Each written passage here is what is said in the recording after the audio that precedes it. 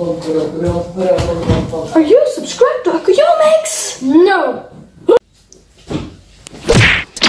Easy! Now, subscribe.